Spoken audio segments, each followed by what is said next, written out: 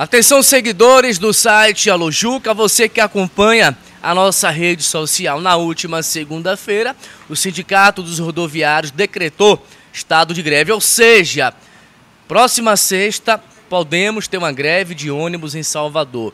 E quem vai passar mais detalhes, vai explicar para você, são os diretores do sindicato, Renato e André. Quer dizer, na segunda, o estado de greve foi decretado. 72 horas depois, ou seja, na sexta, pode ocorrer a greve em Salvador. Correto, Renato? Correto, perfeitamente. Olá a todos aí do site Alojuca. Obrigado, Marcelo, pelo espaço. Falar um pouco disso. Salvador pode sim amanhecer sexta-feira sem ônibus. Né? O, o, Sindicato de Rodoviários, ele juridicamente decretou estado de greve na segunda-feira e fazendo todos os trâmites legais da lei, após 72 horas, Salvador pode amanhecer sem ônibus. E esses trâmites que o sindicato faz juridicamente é para que a população, Marcelo, seja avisada, né, André? Seja avisada a população. Então, 72 horas é um tempo hábil para que todos possam saber o que está acontecendo no sistema de transporte. Então, esse é o processo jurídico que temos que fazer. Vai depender de quê para essa greve não acontecer? Depende muito do acordo. O acordo que tem que ser cumprido, Marcelo.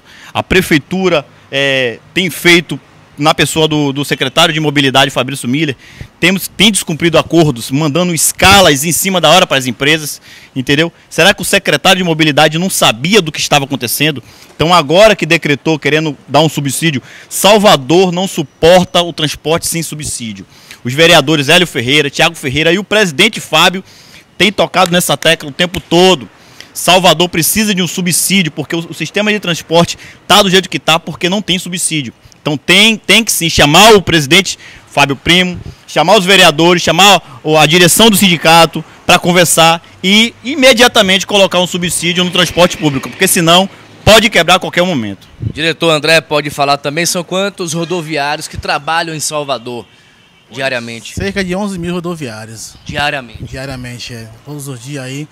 Quem bota essa cidade para acordar e para dormir, né? Nós somos responsáveis por isso aí. Então o recado é esse. Próxima sexta, a população vai ficar em alerta porque pode ocorrer uma greve. Pode ocorrer essa greve na próxima sexta-feira, mas o sindicato está aberto, todos os canais abertos negociação. Hoje mesmo está tendo negociação, não sei se já terminou ainda, mas até sexta-feira, até toda a negociação está em aberto aí para evitar essa greve.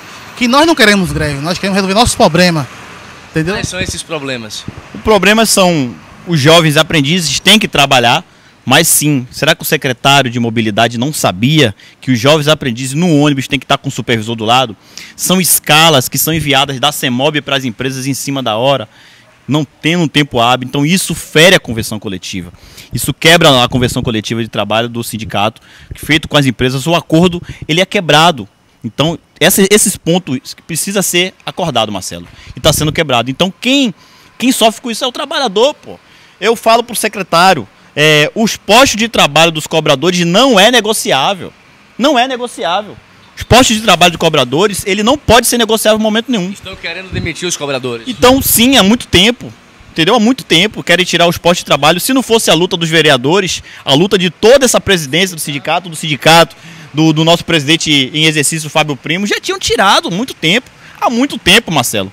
Então esse sindicato ele vem lutando. Falo para o secretário Fabrício Miller, os postos de trabalho dos cobradores ele não é negociável. Não é negociável em momento nenhum. Então, para você que acompanha o site Alojuca, continue seguindo, buscando informações, porque na próxima quinta vai ocorrer uma reunião decisiva que vai decidir se vai ter greve ou não em Salvador.